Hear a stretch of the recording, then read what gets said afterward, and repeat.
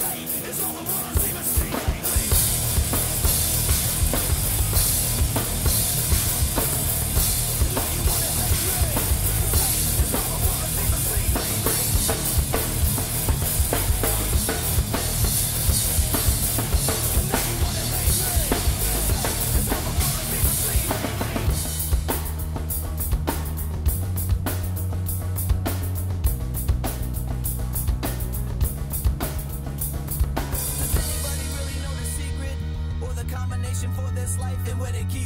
It's kinda sad when you don't know the meaning.